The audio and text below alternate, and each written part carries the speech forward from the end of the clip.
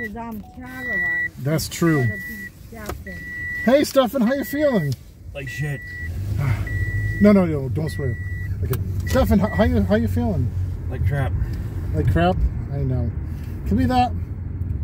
Your wife's ex-husband's picking up the husband. I know. But hey, you know what? I mean, you're, you're good to my kids. You're a good stepfather, you know, Stefan.